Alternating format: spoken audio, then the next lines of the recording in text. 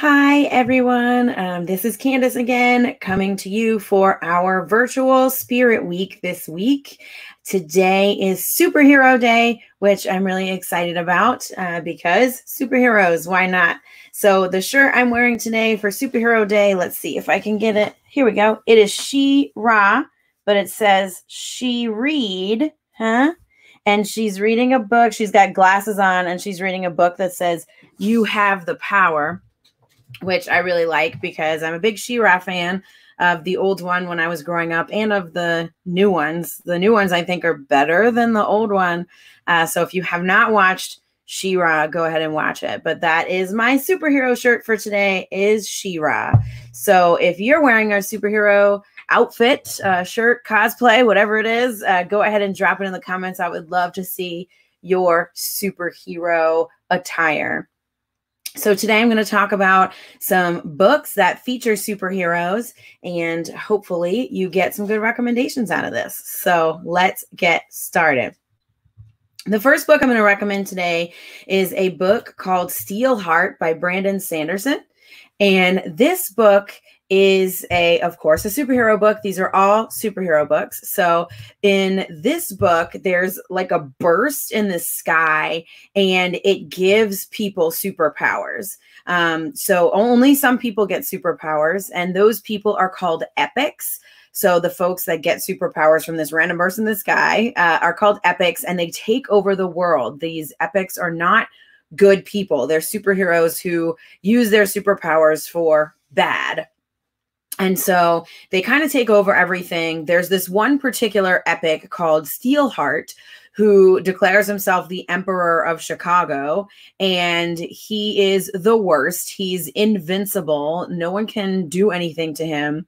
And so he's he's pretty bad. So Steelheart does some bad stuff. There's a group of regular humans without superpowers called the Reckoners, and they study the epics, they find their weaknesses, and then they assassinate them. So the whole premise of this book is very similar to The Boys. If you've ever watched that show, I think it's on Amazon.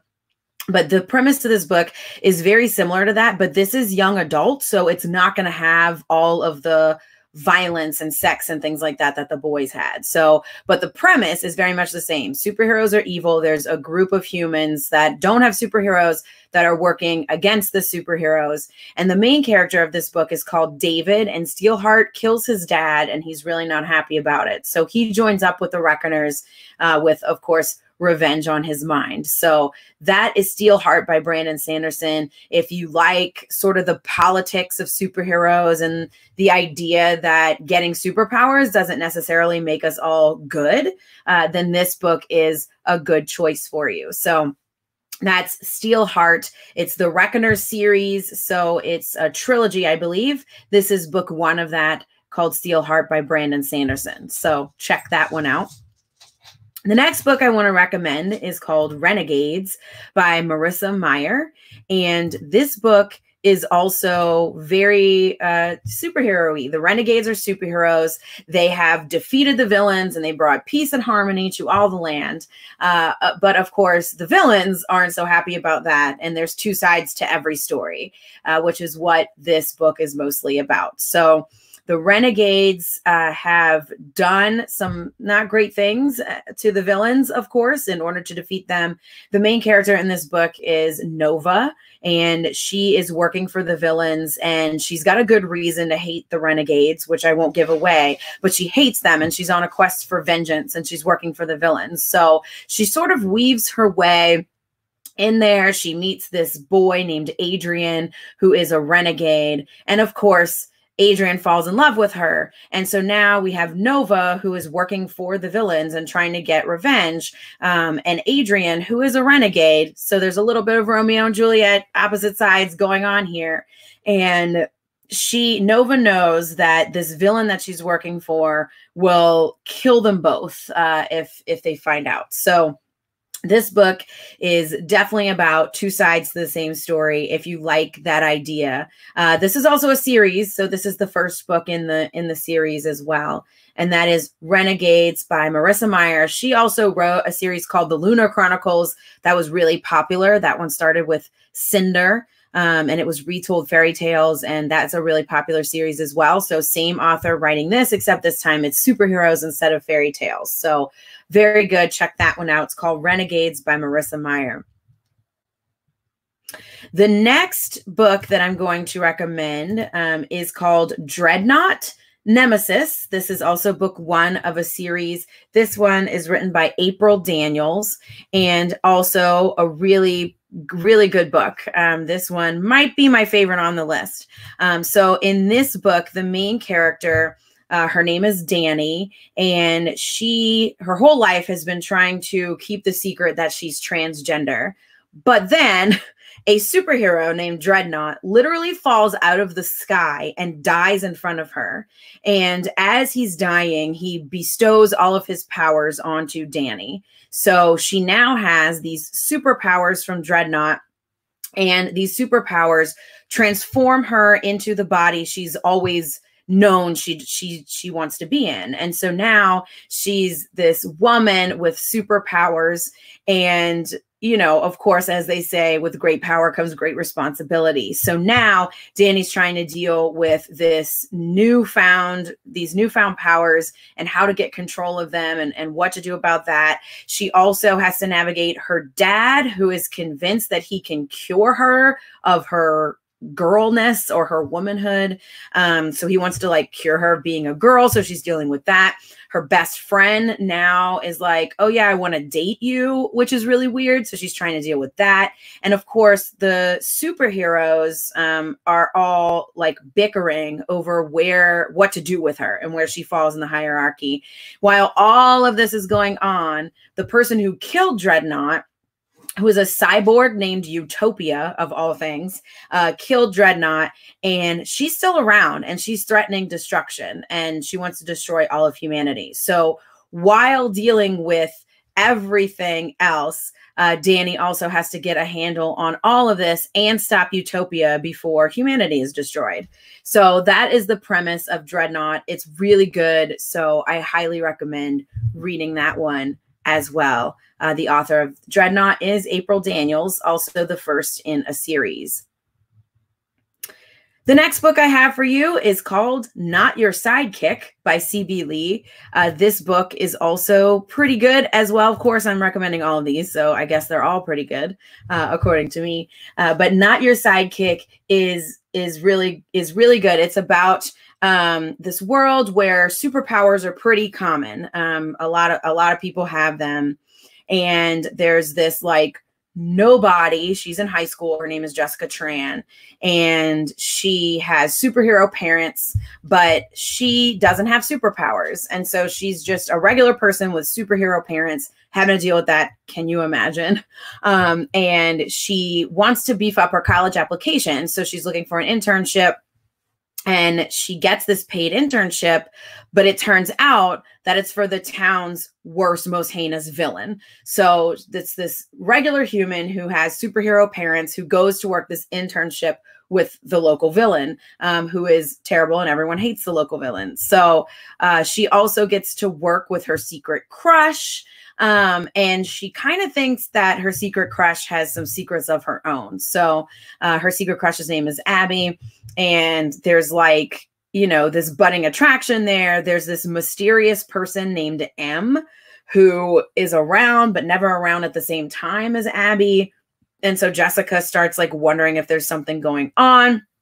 And she really starts this internship just like as a fun way to spite her parents because she's like, haha, I'm going to go work for a villain. But then, of course, she uncovers like a lot of other stuff while she's working there. So that is a really good one, too. I really like the title, Not Your Sidekick, um, because, of course, Jessica Tran um, ends up doing a lot of things, even though she doesn't have superpowers. So it's, it's also really good. It's won a bunch of awards as well. So check that one out, Not Your Sidekick by C.B. Lee. The last book I have for you today is called Soon I Will Be Invincible, and this is by Austin Grossman. This book um, is told from two alternating points of view. So we have Dr. Impossible, who is, of course, an evil villain. He is a would be world conqueror. He tried to take over the world, but he got caught, and now he's in jail. And the other point of view is this budding superhero cyborg named Fatale.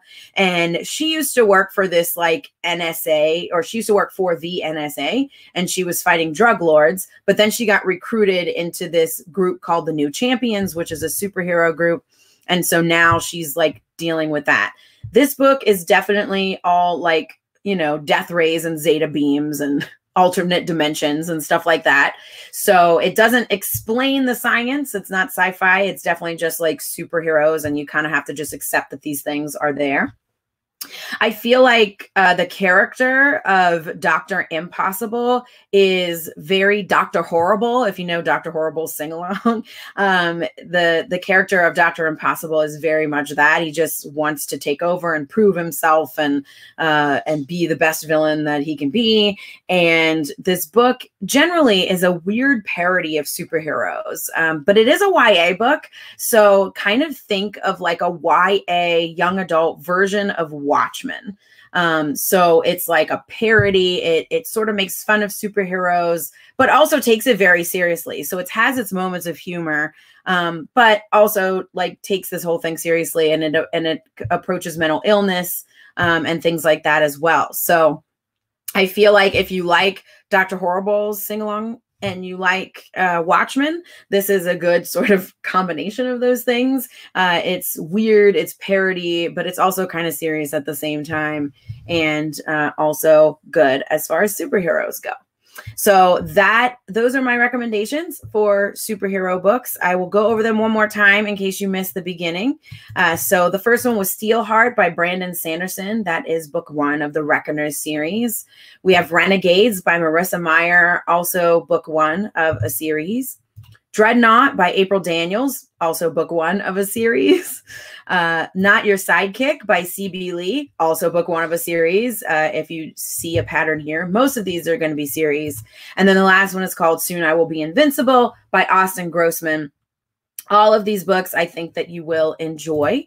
And you can get all of them on our bookshop site. So we have uh, a site at bookshop.org. The, the main site is bookshop.org slash shop slash tubby and coos.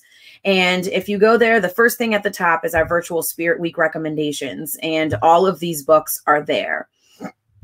So go there, check out our Spirit Week recommendations. Show me your superhero stuff. I really want to see it. And today is the second and last day of our Spirit Week. So I'm kind of sad. I've had a lot of fun doing this with y'all. And so uh, tomorrow will be the last day of our virtual spirit week.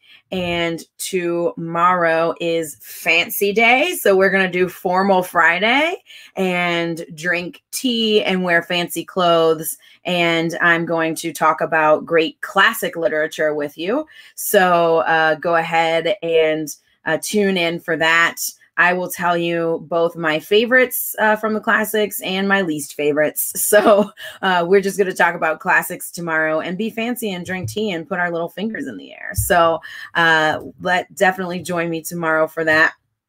And I think that's it. So hopefully y'all enjoyed my superhero recommendations today. And I will see y'all tomorrow at noon. Bye.